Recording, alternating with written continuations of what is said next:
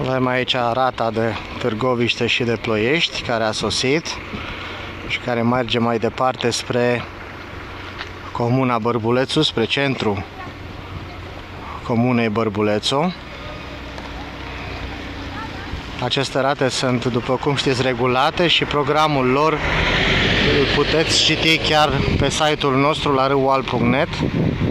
Puteți vedea orele de sosire și de plecare a acestor curse.